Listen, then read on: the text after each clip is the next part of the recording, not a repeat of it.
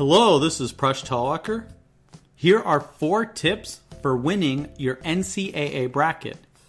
Play the odds, work backwards, use game theory, and beware of expert predictions. Tip 1 Play the odds. Imagine you win 60% of the time if you pick right. How would you pick 10 times in a row? Yale students would pick a sequence of choices left and right randomly in an attempt to be perfect.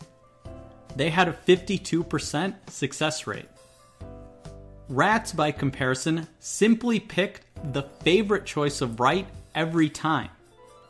They had a 60% success rate, and therefore they outsmarted the Yale students. The lesson is don't overthink it. You should consider playing more of the favorites to play the odds. Tip 2 Work backwards. The NCAA tournament has 64 teams, which means you need to pick 63 games. That's a lot of decisions. So, just as you would solve a maze by looking at the end and going to the beginning, you can solve your bracket by considering picking your final four picks first.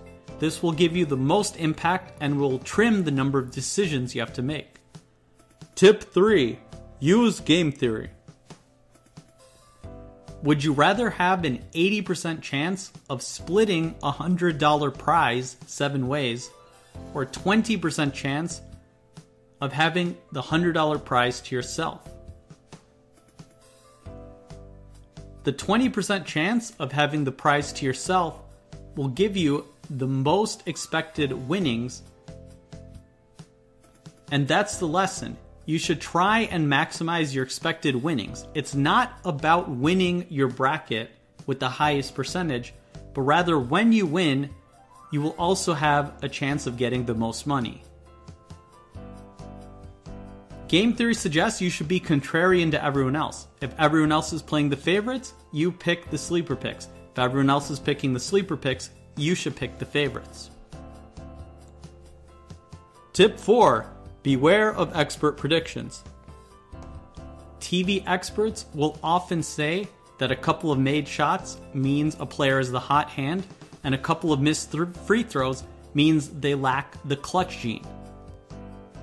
TV experts don't always know what they're doing relative to the data.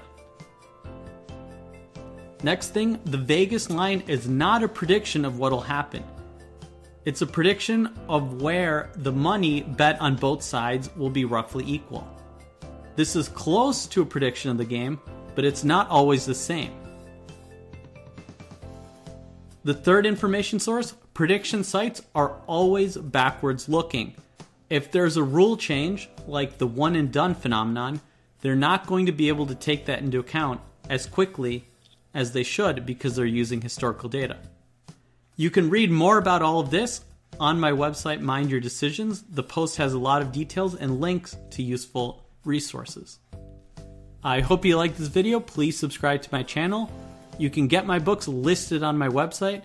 Catch me on my blog, Mind Your Decisions. Follow Mind Your Decisions on Facebook and Google+. Follow me at Presh Talwalkar on Twitter, Instagram, and Tumblr. And if you like what I'm doing, you can support me on Patreon.